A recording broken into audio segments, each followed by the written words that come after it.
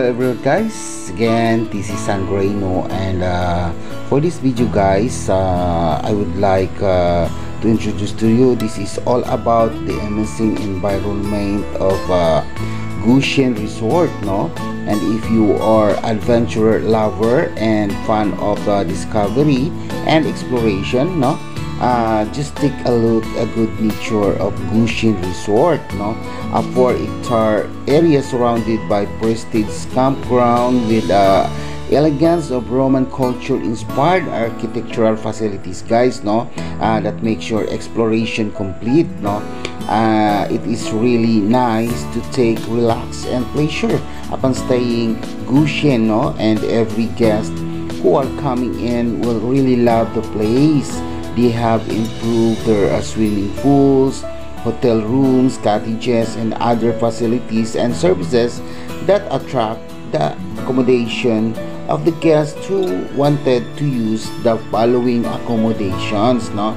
And the place guys may look like you are in room no in Italy because this is the reflection of uh, Europe style design no where all the places can really be engaged other guests to make more experience no uh, going to Rome without any passport guys no joke lang.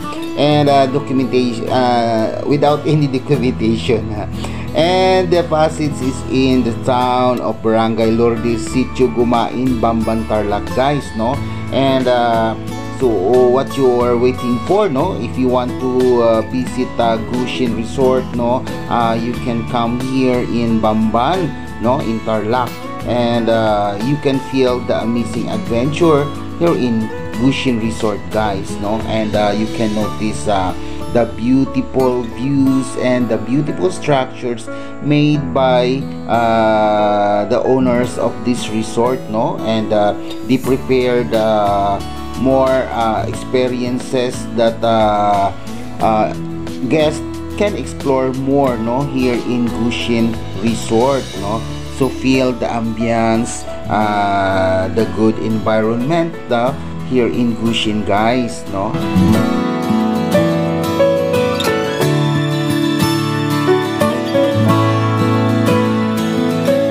and so while staying here guys no i really feel uh, the good nature of the place no. I am uh, very relaxed uh, while uh, walking around taking some pictures uh, capturing some uh, beautiful place and grounds of this Gushin no.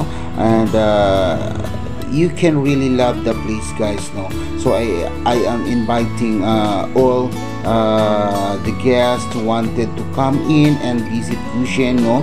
And uh, you really feel uh, good and enjoy the place guys no?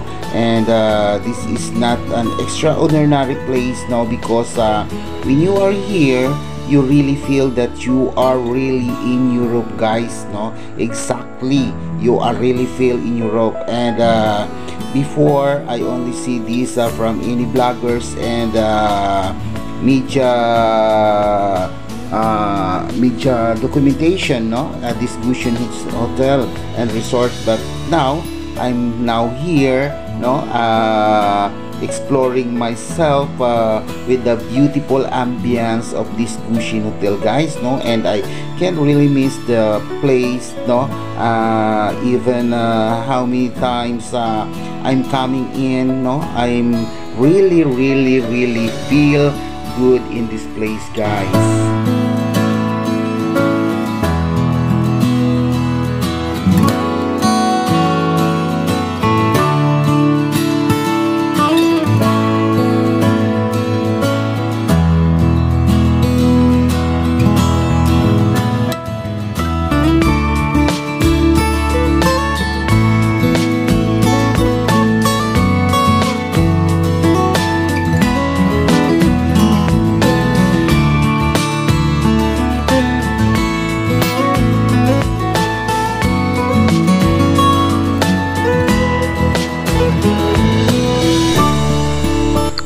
for this video guys, no, I would like to shout out uh, Madiskarting si Turing. Ayan, mabuhay ka dyan Kas, no?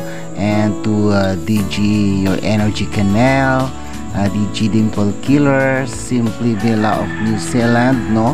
Uh, ADG30, Ramju Vlog of Bohol, uh, Cherry Noemi uh, Vlog of USA, Miles Gonzalez, uh, Spike TV, Chubaki Vlog, Tadio Talan, uh, Vernice L. Tricker, no? Joy Sakadika Vlog, Japan, ayan. Um, Glimpse of Gems, uh, Luca Bakla, ayan, Nining uh, Life in the Province, uh, Dudes TV, uh, Explore Nueva Ecija, uh, Grace TV, South Vlog, Naldo Family Channel, Happy Kasuko Vlog of Japan, and Mr. Christian Karagay of Moncada. And uh, also shout out to the Moncada Public Market Admin Office, no, uh, headed by uh, Madam Carlota Bautista uh, Miss V. Valdivino and Larry Kuchapin. Ayan. And the Moncada Watts Boys, Kagawa Joey Angeles and Junel Mercado. No? And to all my silent viewers from all over the Philippines, uh, United States, Argentina, Mexico, Brazil, Cambodia, Chile, Indonesia, uh, Dominican Republic, Ecuador, uh, Spain, uh, Honduras and El Salvador no? And uh, that's all. Uh, thank you so much for all your undying support to my channel guys no? And I hope uh, you really uh, uh, feel good there no? God bless you all no? And uh, again thank you so much to all of you